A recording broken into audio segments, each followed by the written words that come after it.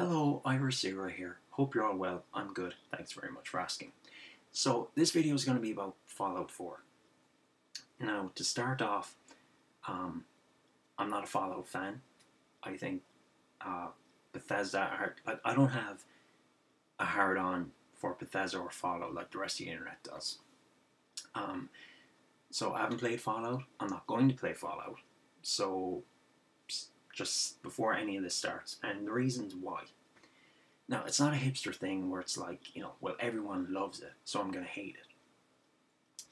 Uh, the pro- the reason why I'm not going to play Fallout is I find the media's coverage of it absolutely disgusting.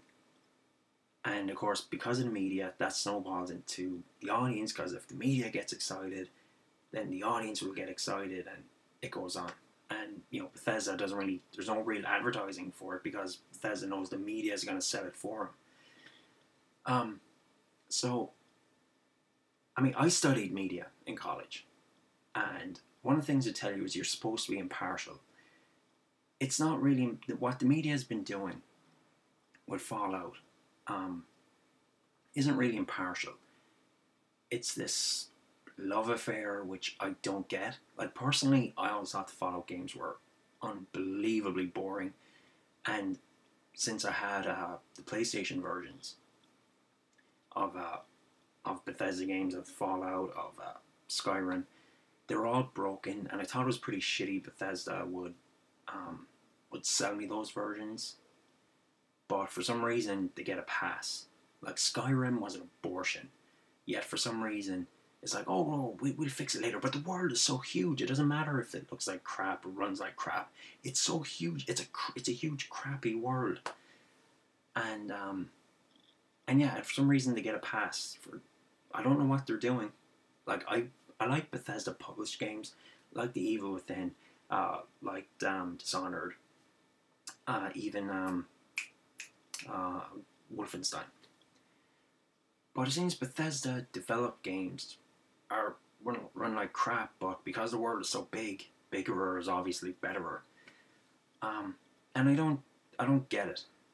I really, really don't. And and the thing is, what's that? Well, if you don't like Fallout, don't play it.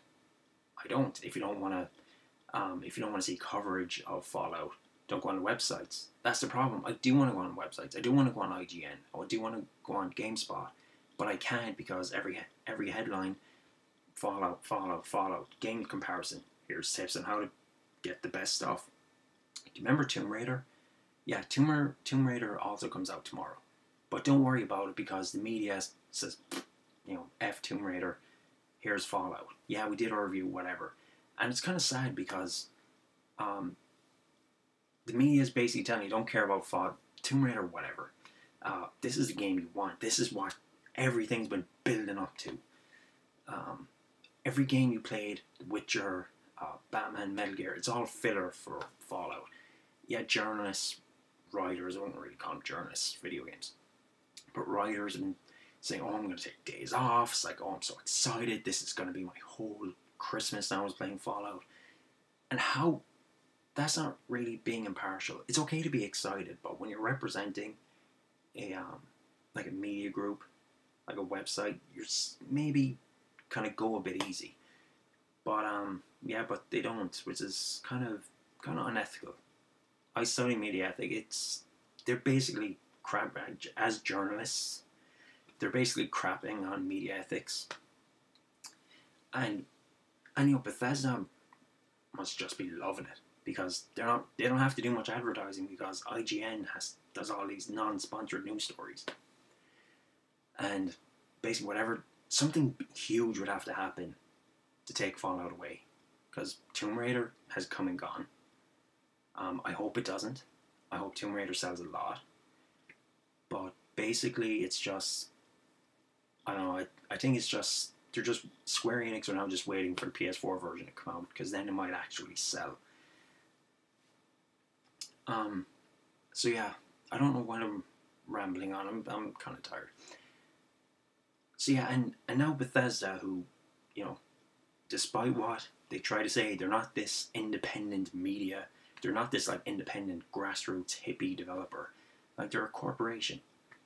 and they've been whoring Fallout. Like if you go to their store, uh, Kotaku in the UK to the store, it's like 111 items of like towels, onesies for your kid, um, handbags. They're just pouring Fallout everywhere, that stupid Pip-Boy thing, which apparently only works with certain iPhones. Um, again, stupid message. Um, so again, uh, yeah, maybe I just don't get it. You know, it's not that. I mean, I don't like the Fallout games because they're boring. Like, it's not because well everyone likes it. I'm gonna hate it. Um, but like, I play games a lot. I know what's good, even if I don't like a game. That's I know why it's good. Fallout is just boring. They're broken. Yet for some reason, that's another thing when I read reviews. They talk about technical bugs, but for some reason, it still gets a nine. I don't get that, but you know, the world is big, so it's okay. You know, big world equals, you know, great game. I don't know. Maybe I'm just stupid. I don't care. Um, but yeah, maybe it's finally nice to say something negative about Fallout. Not about the game. Again, I'm never going to play the game. But just about the whole thing. Everything around the game is seriously, seriously shitty. And um, and if you watched up to this point in the video, buy Tomb Raider. Please buy Tomb Raider. Um, even if you you are going to buy Fallout, don't forget Tomb Raider exists. Otherwise, you know. Otherwise, you know, they win. The bad guys win. You know, the media now decides what you do with your games.